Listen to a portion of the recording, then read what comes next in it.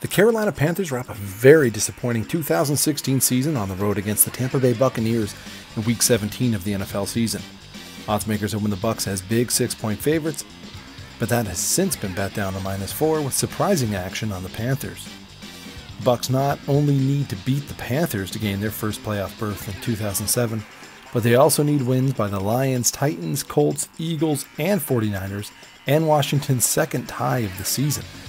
They have no one to blame but themselves for this dire situation after dropping back to back games, including a crushing setback at New Orleans last week when quarterback Jameis Winston threw two costly interceptions, leading to Saints points and a 31 24 setback.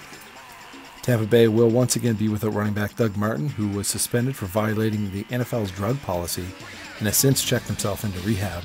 That leaves Jacquizz Rodgers as the featured back Sunday. Cam Newton missed Carolina's first matchup with the Bucs, a 17-14 loss due to a concussion, leaving Derek Anderson under center. Newton is once again on the injury report with a shoulder issue, but is expected to play, as is tight end Greg Olsen, who also missed practice time during the week.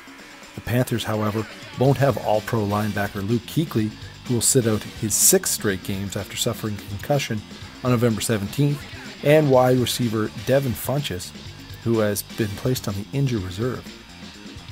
Favorite is 13 and 5 ATS in the last 18 meetings between these NFC South foes, with Carolina going 5 and 2 ATS in its last 7 clashes with Tampa Bay.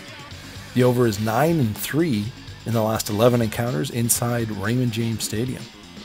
If you're betting on NFL Week 17, be sure to check out sportsbookreview.com, the authority in sportsbook ratings and reviews, as well as the top source for the very best sportsbook bonuses across the industry.